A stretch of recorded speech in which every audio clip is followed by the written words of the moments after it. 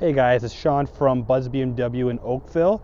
Uh, in front of me, I have a 2021 BMW X3. Uh, this video, I'll do a quick walk around the exterior, talk about the interior, go over the engine, um, and give you a quick overview on the vehicle. Uh, so what we'll do is we'll start on the outside and we'll start on the front end. So a couple things I want to note, and again, uh, this this redesign has been out for a few years, but let's start at the headlights. Standard on the X3 uh, are LED headlights. Uh, so you have the option of these ones, or you can go to an adaptive LED headlight as well. A little bit better distance in terms of light. Um, but the days of xenons, HIDs, those are essentially gone. Squatting down a little bit, you'll notice uh, LED fog lights. So it just helps light up the uh, your area when you're driving as well. And then across the bottom, you got parking sensors across the front and I'll show you later on parking sensors across the back as well. Looking at the front end, kind of the star of the show is the kidney grills, and that's kind of one of BMW's signatures. Um, but this one serves a different purpose. So not only has it increased in size, but I'm not sure if the camera can capture it. You actually notice them; they're closed right now, so you can't actually see inside. Serves two two different functions. So one function being helps the vehicle warm up a little bit better, um, especially during the colder, the winter times as well, and for fuel efficiency as well. So automatically open and close depending on your driving.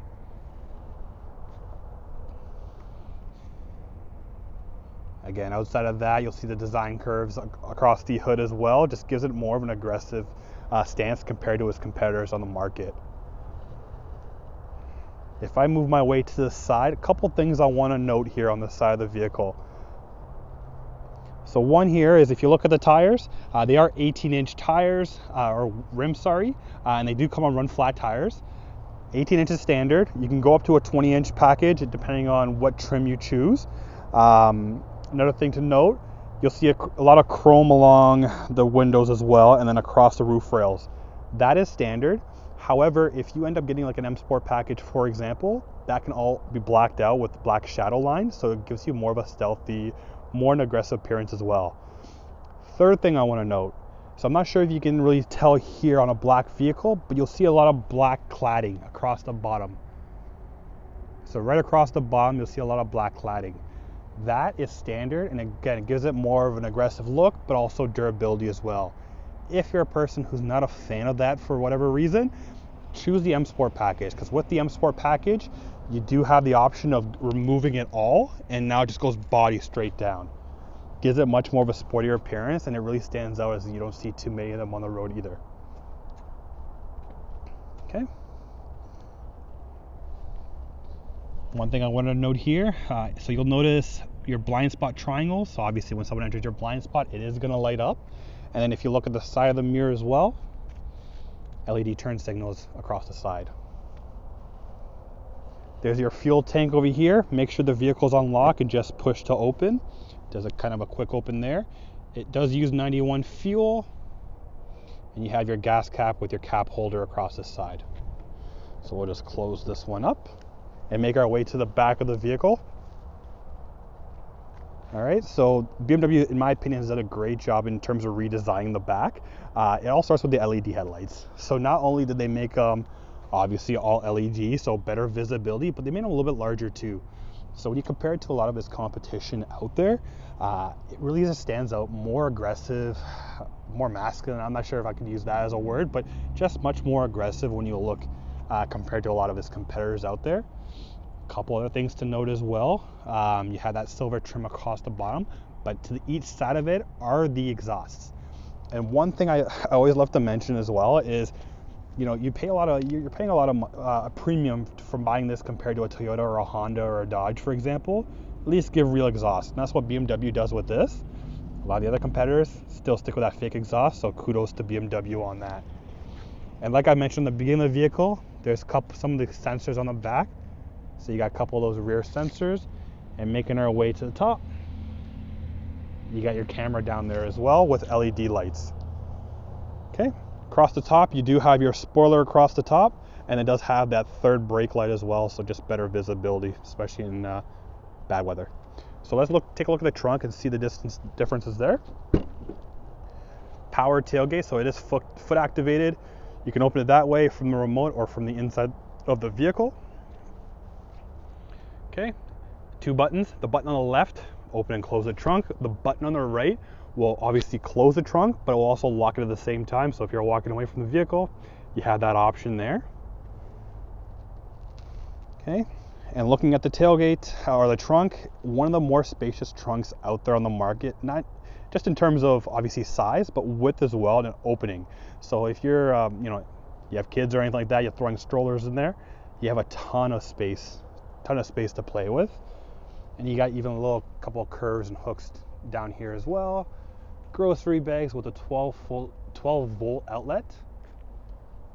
Tonneau cover going across the top that can pull out.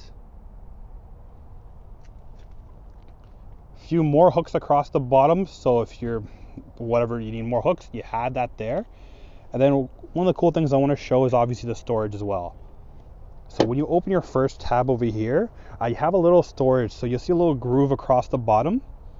It fits the uh, it fits the tonneau cover perfectly. So you don't have to leave in the garage, lose it. And then when you have to return it on a lease, you end up paying for one. You can easily store it in the car.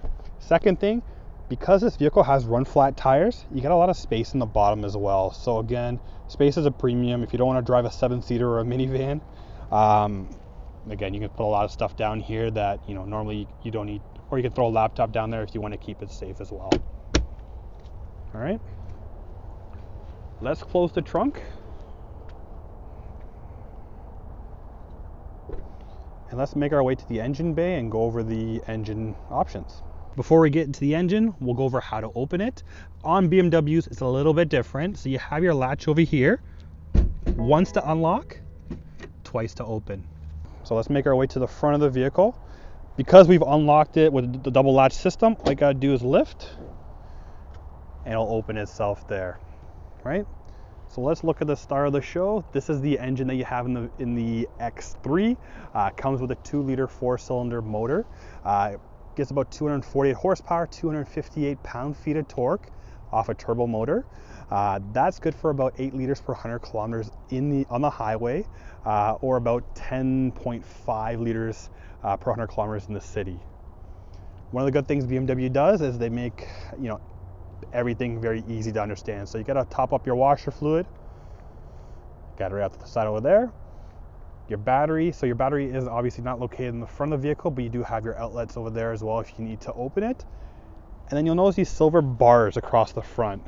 These are the different strut bars. So with it being more of a performance oriented SUV, um, this is going to help you obviously take those turns a little bit tighter, uh, help the handling and kind of the response to the vehicle. One of the BMW uh, kind of main trades is being more of a performance oriented vehicle while giving you the luxury. So it's good to have that in the vehicle. All right, so let's go take a look at the interior, starting with the back seat. So let's make our way to the back seat. Opening it up, one of the first things I want to show is obviously the width. So the door does open up quite a bit. Uh, so again, whether you're a larger person, I'm about six foot two, or you have a stroller or a car seat that you're trying to put in, that extra space does help quite a bit. You got your wood grain trim, and again, you can have different trims depending on different packages you choose. X marks the spot. Uh, with all the X3s, you'll have this logo on the front and the back when you open the doors. You got that leather trim. So on X3s, leather is standard, but this specific vehicle does have the black leather seats. And then you'll notice here you got some gray piping as well, and we'll take a look at more of that when we get into the interior or in the front seat. You got rear ventilation, you can control the heat, temperature, and then across the bottom, you have USB-C. So that's kind of the new golden standard moving forward when it comes to charging your devices.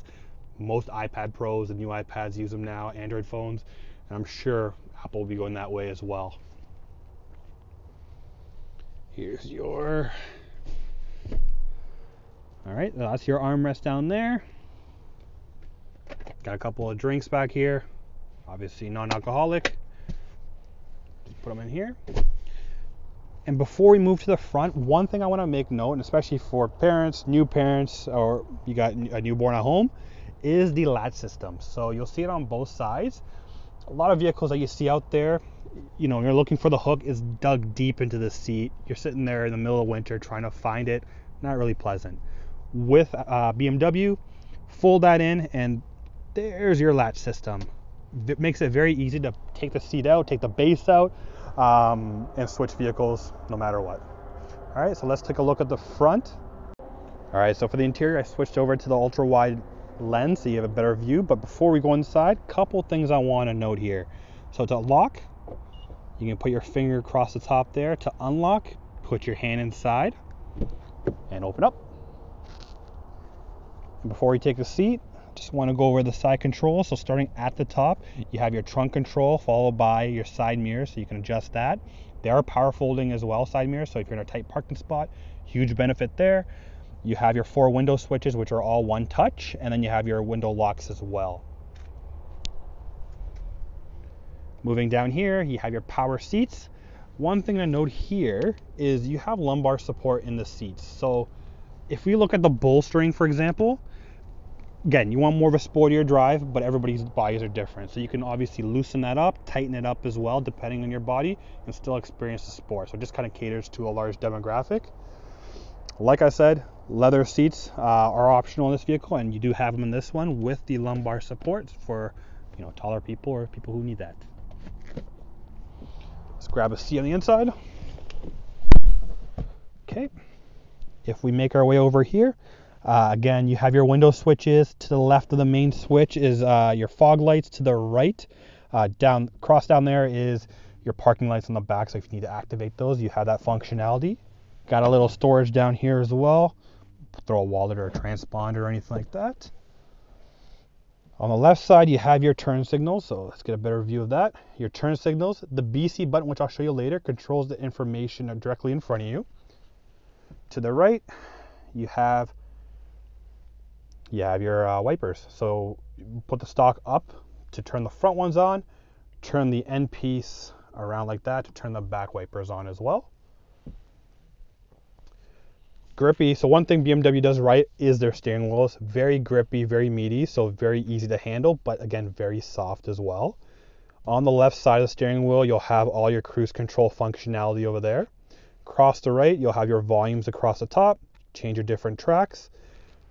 Not sure if it'll show up here, but you can, hopefully you can see that. I'm on XM radio and I can kind of cycle through the different stations. So that's your pinwheel right there.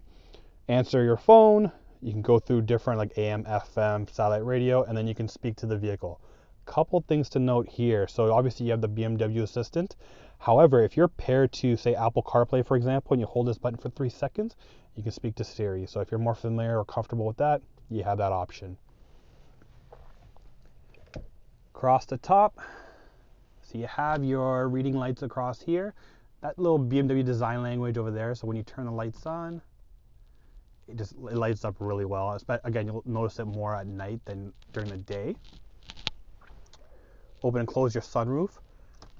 SOS button, you get stranded. Uh, you know, it happened to me one time where I got stranded. Press that button, I had that assistance. So it's a cool function to have in the vehicle.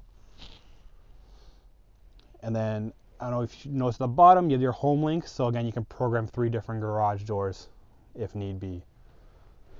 And look at that, we have a navigation update. We'll do it later on, but this is your iDrive system. So one thing to know with the X3 is if you if you don't option your vehicle out, you're gonna get iDrive 6. So iDrive 6 is more of a tile-based system, as you'll see here. They're live tiles as well, so it'll tell you, it'll update your mileage, for example, update where you where you are, um, or even the music as well. And then you'll notice the front it with iDrive 6 you have your different odometer as well or analog more of like an analog digital display so it's not fully digital like the new ID7 but again I'll show you that in one of my other videos as well going through here if I click down uh, you do have satellite radio AM FM Bluetooth USB uh, again that's all customizable cool thing to note as well it's all touchscreen as well so whatever your preference is you have that Communication is basically your phone. Navigation, so again, you can speak the address. It's very easy to speak to that when it comes to this vehicle. Zooming out, you can look at your maps. You saw the uh, the message earlier where you have the updates as well, so that's a really cool functionality there. Connected drive. So when I go into connected drive, you have a couple of different systems. So assist, again, God forbid you're in an accident or you need any roadside assistance. I'm not going to click it on this demo, but if I click down on it, it's actually going to dial the number out to BMW Accident Assistance, who will then walk you through and kind of help you out, right? Concierge, if you're trying to book a show, book a hotel, or anything like that, call concierge and they'll obviously take care of you. Or service center management. Um, again, if you need to book a service appointment, you can do that as well. My vehicle, so this is where you really get into your different um, different options, right? But one of the cool things I wanted to show, and it sucks it's a little bit earlier in the day, but you do have ambient lighting. So if you see in the picture up there, so across the dash down here, you have lighting that goes up towards the top, lighting in the footwell, and it goes into the back seat as well, but you can really customize the color as well. Bunch of different colors, bronze, orange, white, blue, green, lilac, and then you have two-tone versions of those as well.